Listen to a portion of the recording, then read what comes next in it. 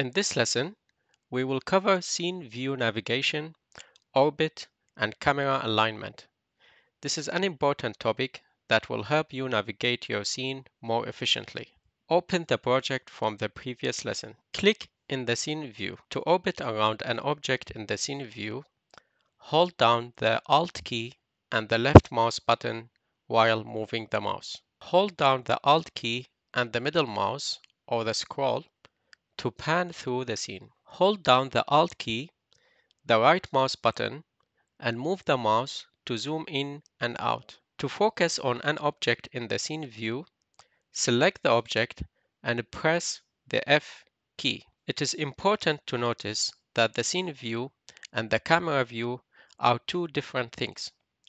Selecting the camera game object in the hierarchy will display the camera view in the bottom right corner of the scene view. Notice that they are different. The game view displays the camera. Click the play button and notice how the game view will show the camera vision.